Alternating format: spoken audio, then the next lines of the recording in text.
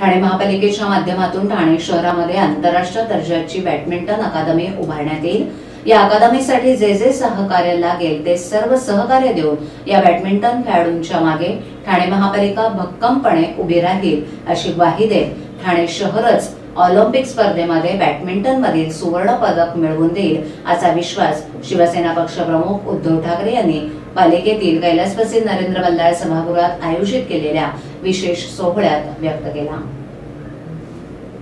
ठाणे महापालिकेच्या सय्यद मोदी बॅडमिंटन प्रशिक्षण संस्थेला तीस वर्ष पूर्ण झाल्यानिमित्त या प्रशिक्षण संस्थेचे प्रशिक्षक श्रीकांत वाड आणि त्यांच्या सहकाऱ्यांचा जाहीर सत्कार करण्यात आला.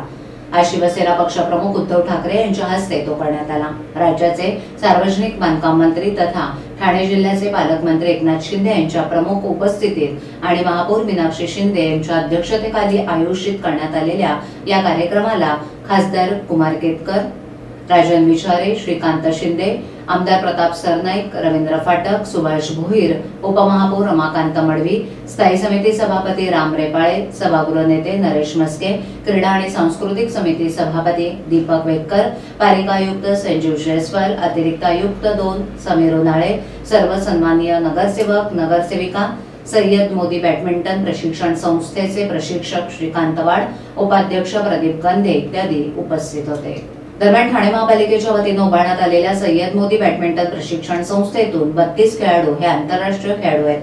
सात खेळाडू हे शिवछत्रपती पुरस्कार विजेते सोळा खेळाडू हे राष्ट्रीय पुरस्कार विजेते तर हजारोहून अधिक खेळाडू हे राज्य खेळाडू आहेत.